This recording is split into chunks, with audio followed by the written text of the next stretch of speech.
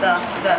Вот так вот 30, 30 надавливаний и 2 выдоха. Это практическая часть. Тренажер достаточно чутко реагирует на действия человека. Получается не все и не у всех, но ребята делают лишь первые шаги. Наставники акцентируют внимание на том, что увидев человека в беде, они должны немедленно сообщить взрослым. Но у многих уже есть мобильные телефоны и есть возможность набрать 112. Единый номер службы спасения. Это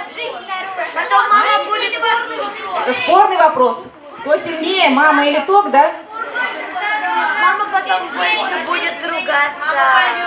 Я думаю, что мама поймет. Жизненная ситуация. Мама купила воздушный змей, а он зацепился за линию электропередач. Теоретическую часть ведет Надежда Крюкова, педагог с 20-летним стажем. Ее задача донести основные правила безопасности в быту. По ее словам, дети очень благодарная аудитория. С ними очень интересно, они знают больше нас, и они, э, как сказать, они не придумывают, они говорят то, что есть, они честные, они более, у них больше потенциала, наверное, чем у нас. Разработаны три курса для самых маленьких мультфильмы и игры. Здесь ребята постарше. У них уже есть игровые приставки, а многие знают, что заряжая мобильные устройства, следует соблюдать осторожность. Это один из главных акцентов в этом году.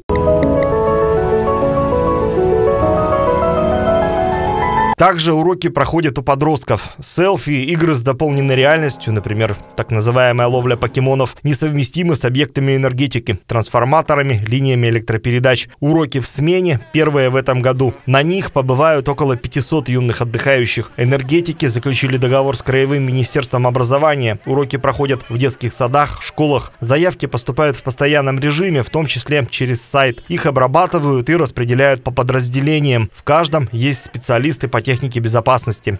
Человеческая жизнь – это самое главное, да? Когда человек э, подготовлен, он вооружен, а если он вооружен, значит он защищен.